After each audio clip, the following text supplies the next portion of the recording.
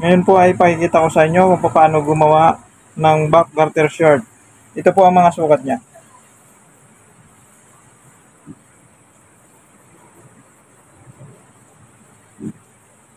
Umpisa na po nating magtabas ngayon. Ang unang kukunin po natin ay yung haba ng short niya. Babawasan niya po natin siya ng 1 and 1 fourth para sa pinakang waistband. 18 po ang pinakang haba niya. Ito po. Tapos yung pinakang pundiyo niya ay 9 and a half. Ngayon, dito po sa 9 and a half, gagamit po tayo ng eskwala. Kukunin po natin yung sukat na 34 ang hips. 34. Ang 34 po, ang kalahati po ng 34 ay 17. Yan po. Yung may, may number po sa eskwela na 17.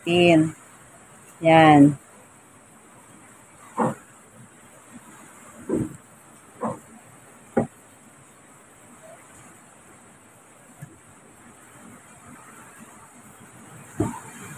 po. Yan. Taanan po natin. Guguhitan po natin para sa pinakang aleta niya. Ito po yung pinakang pagsisipiran. Ito po yung center niya. Dito natin guguhitan na yan. Para makuha po natin yung sukat ng laylayan. Isa-center din po natin siya. Yung pinakang bottom o laylayan.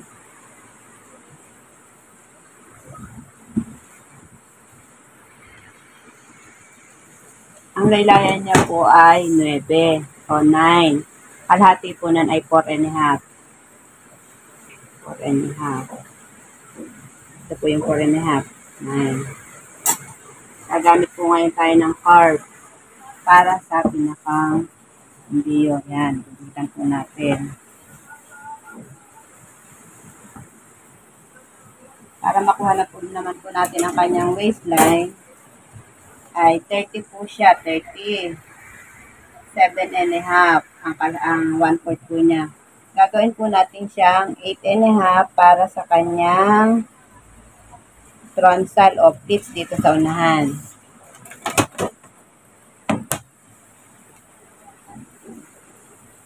Ang ating po magiging pocket ay depende po yun sa laki o liit ng bata. Gagawin lamang po natin siyang 5 and half.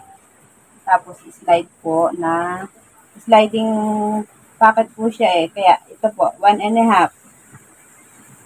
Ang sukat po niya buhat dito sa ano. Tapos, ano na po natin siya. Yan, slide pocket. Ngayon, gugupitin na po natin siya. Wala po siyang alawan sa paggugupit. Mamaya, sabak na po tayo mag adjust ng para sa sewing allowance.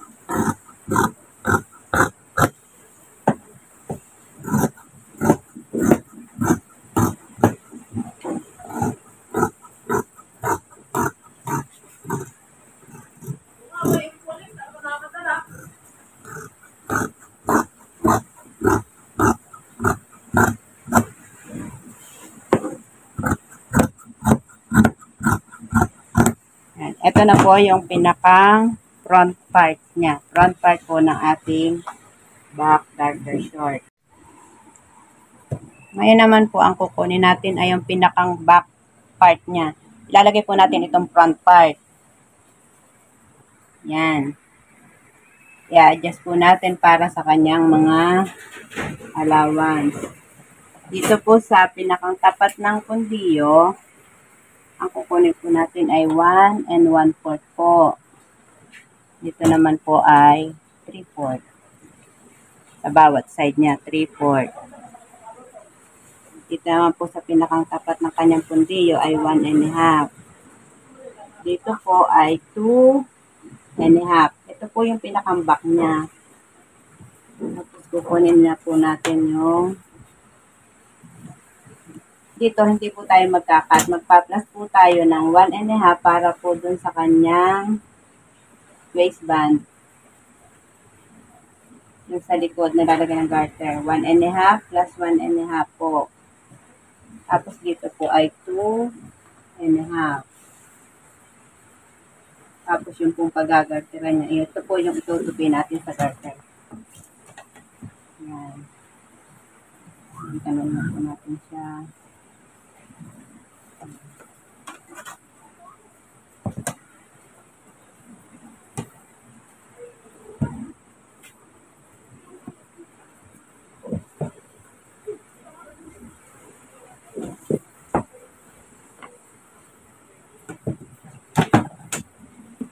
Lalagyan na po natin siya ng marking sa tapat po ng mga sukat niya para po pag binuo po natin, dun po natin siya itatapat para hindi po nagpipilipitan ang ating gawa. Ito naman po yan.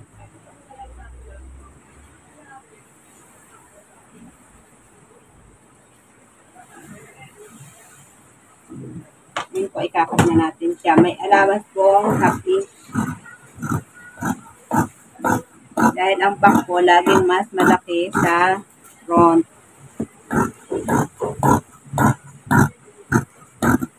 Iba-iba po ang pam- pamamaraan ng paggagawa ng short. Depende po sa mga napag-aralan, natutunan. Pero ito po yung way ko kung paano po mag-back garter short. Gumawa.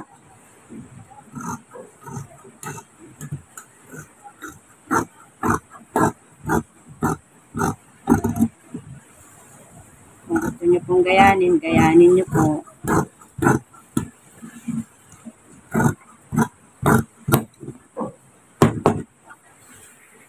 Ito na po yung pinakang back part niya. Ayan po. Tapos ipapatong na lang po natin itong pinakang front part para po sa marking. Mamarkingan po natin yung pagtutupian sa loob.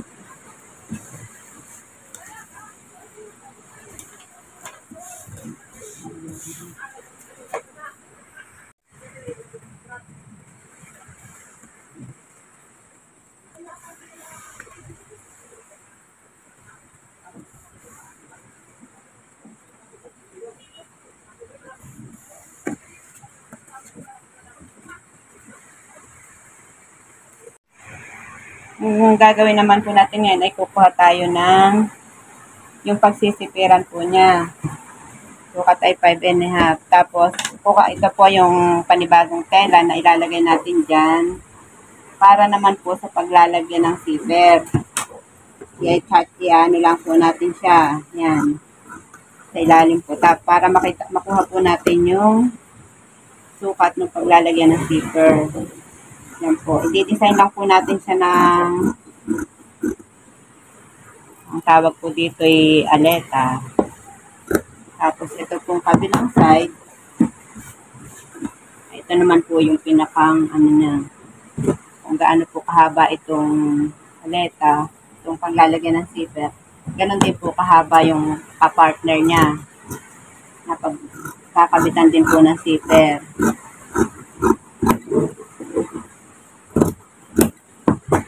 Ano po.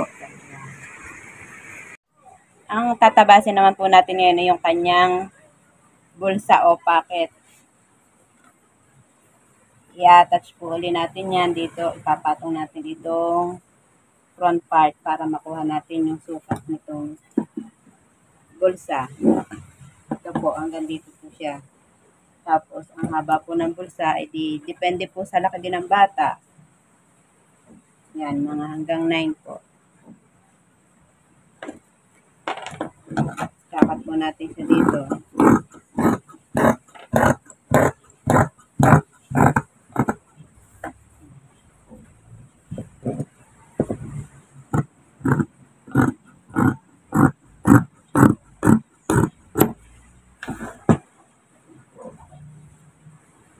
Kakat na rin po natin itong dahil slide po siya. Parehas naman po ang tela niya nitong pambulsa at ano, itong pinakang main part. Gugupitin na po natin siya dito. Sa dito po sa labas ng guhit, mag-allowance po tayo ng 1 quart. Yan po. Para pag ina-attach po natin, diretso ano na po siya, wala na pong mga facing. Ito na po yung pinaka-facing natin dahil katela naman po siya.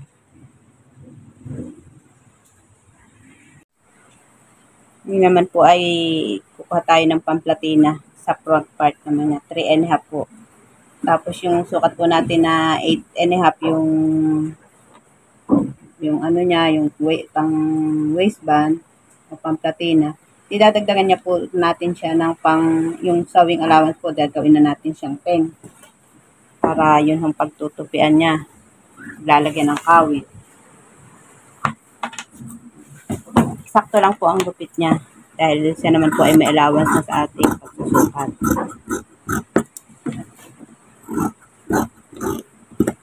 po yan sa front part. Lalagay natin. Tapos, saan din po tayo? Dito na tayo kuka ng sinturera. Dahil may sinturera po siya, ito na pong mga retaso para hindi ito pong mga, pwede na naman po itong sinturera. Para hindi po sayang ang tela natin. Ito naman po ay kailangan ng sinturera dahil siya po ay short. Yan. Dito lang po tayo po sa ating mga taso. Dahil para hindi po masayang.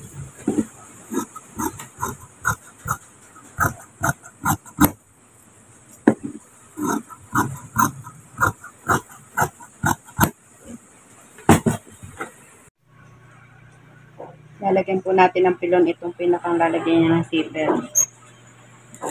Oh, patigas niya.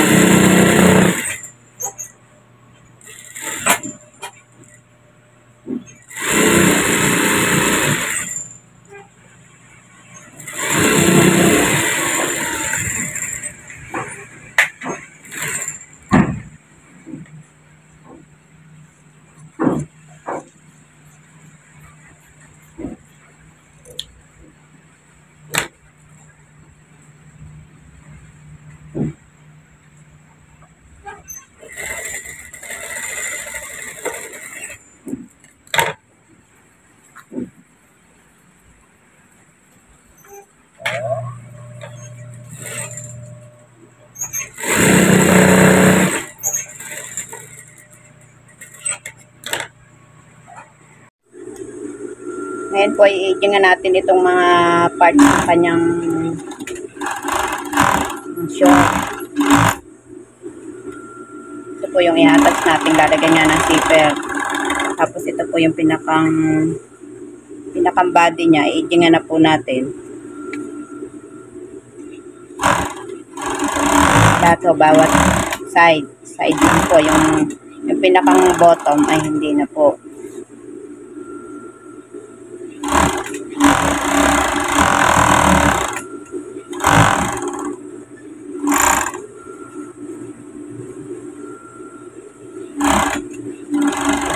Po natin siya.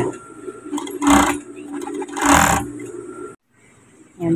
Ito po, maglalagay na po tayo ng zipper. I-attach muna natin itong pinakang maleta niya.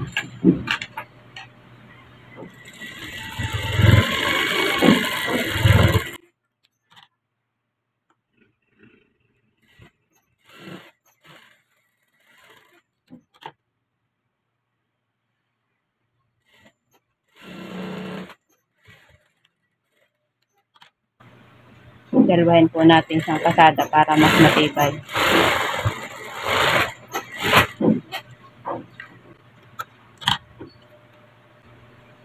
Ito po, ikagano natin itong lalim bago natin pasadahan ito.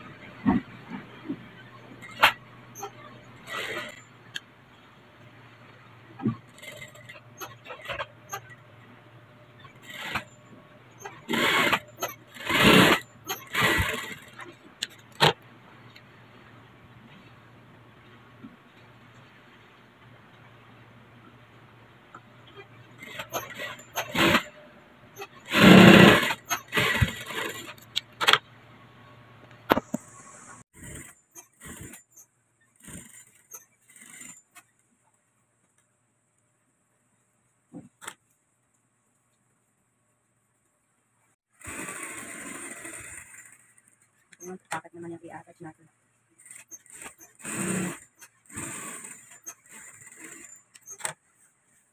Left and right pocket.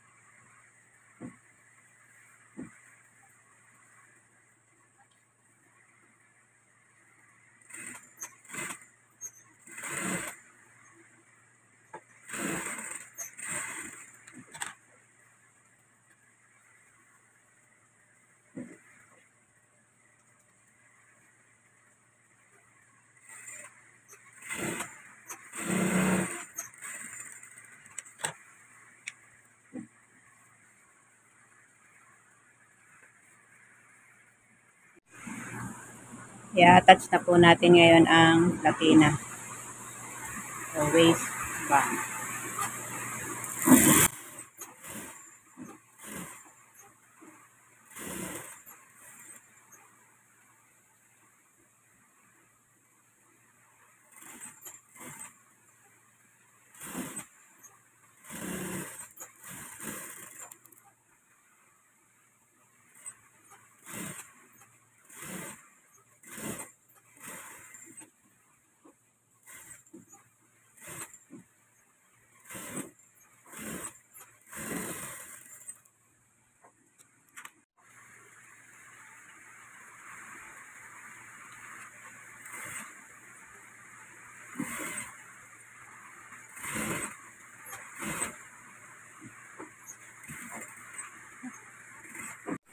Nalagyan na po natin ng pocket ang ating front part. Kaya i-attach na natin sa likod. Yung back part naman niya ang pagkakapitin natin.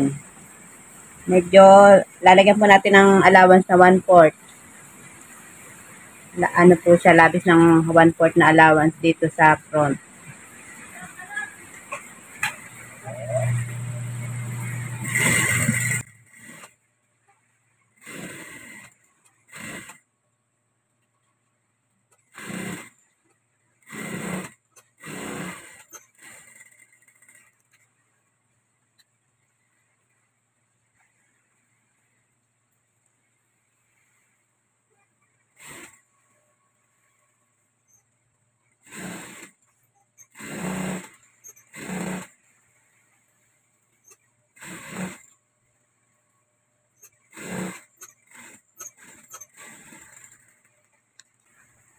So, doblehan lang po natin siya ng tahi para mas matibay.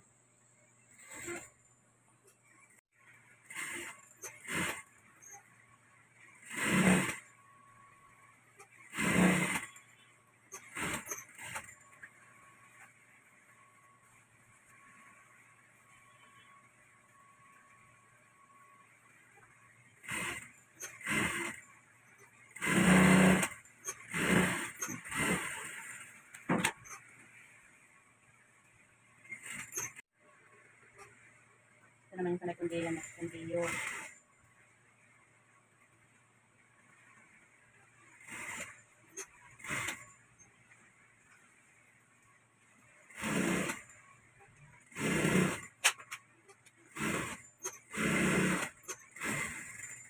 Lalagyan na po natin siya ng garter. Ito po ay nilagyan ko ng marking yung pinakang center niya. Dito niya po siya itatapat sa back part na ito. Atin pong tatahian.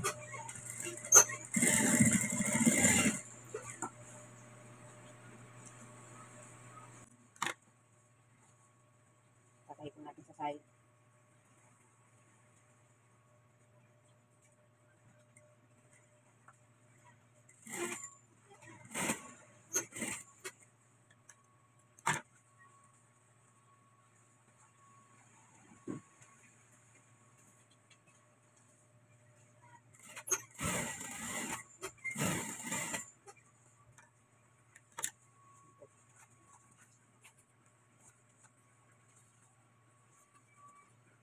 Unahin po natin tayo yung